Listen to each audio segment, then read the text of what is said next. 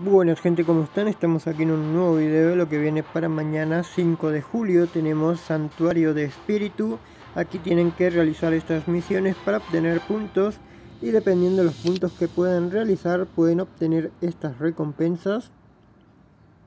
Luego tenemos gasto total, gastando diamantes pueden obtener alguna de estas recompensas. También tenemos diamontes únicamente es para reclamar las recompensas en diamantes que han acumulado los días anteriores. Luego tenemos el frisbee. Realizando giros de frisbee pueden obtener estas recompensas. Último día del evento. Y realizando cierta cantidad de giros de frisbee pueden obtener la recompensa de objetivo. Luego tenemos las actividades, realizando estas actividades pueden obtener alguna de estas recompensas. El consumible, gastando diamantes, pueden obtener alguno de estos materiales. Y el de recarga, recargando diamantes, pueden obtener alguno de estos materiales.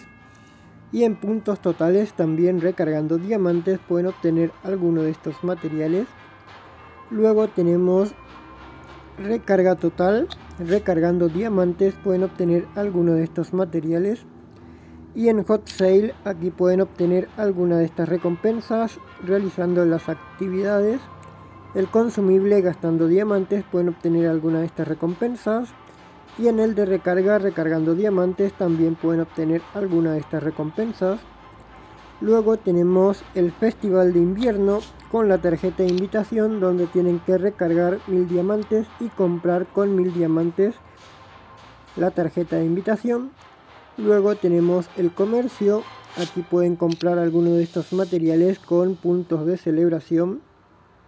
Y luego tenemos las misiones. Realizando estas misiones pueden obtener experiencia y puntos de celebración. Recuerden que las misiones con este icono únicamente lo pueden reclamar teniendo la tarjeta de invitación activada. Luego tenemos descenso astral último día también del el evento de Festival de Invierno.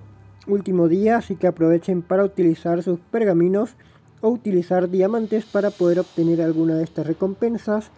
Y completando la barra con 200 puntos, pueden obtener 40 esencias de alma de Santa Ilumina.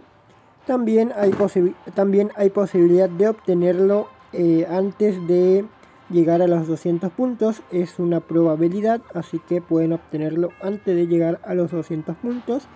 Pero si no, llegando a los 200 puntos, se aseguran un cofre con 40 esencias de alma de Santa Ilumina.